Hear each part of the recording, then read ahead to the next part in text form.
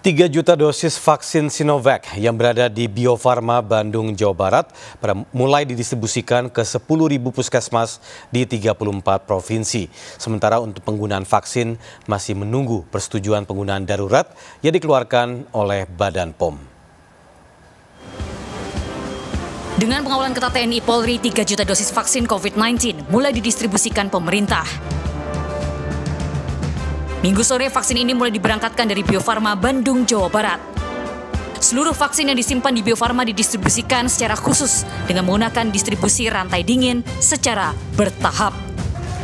Vaksin ini akan disalurkan ke 10.000 puskesmas yang tersebar di 34 provinsi.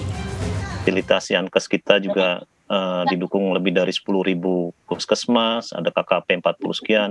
Uh, semuanya sudah di apa ya disiapkan untuk uh, rantai dinginnya untuk menerima vaksin ini.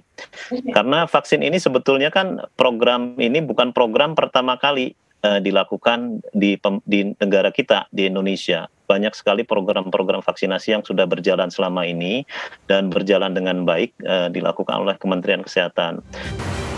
Namun penggunaan vaksin masih menunggu persetujuan penggunaan darurat atau Emergency Use Authorization oleh Badan POM.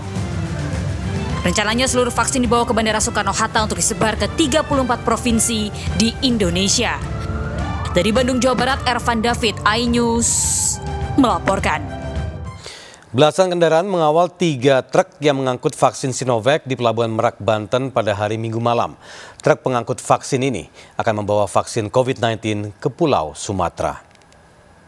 Vaksin COVID-19 akan didistribusikan ke sejumlah provinsi, di antaranya Provinsi Lampung, Riau, Sumatera Barat, Jambi, Sumatera Selatan, dan Bengkulu. Untuk menjamin perjalanan vaksin, PT ASDP Indonesia Ferry, cabang utama Merak memberikan fasilitas kapal besar yang ditumpangi guna menyeberangkan vaksin ke Bakauheni. Sebelumnya pemerintah melalui Kementerian Kesehatan mulai mendistribusikan vaksin Sinovac sejak hari Minggu ke 34 provinsi di Indonesia.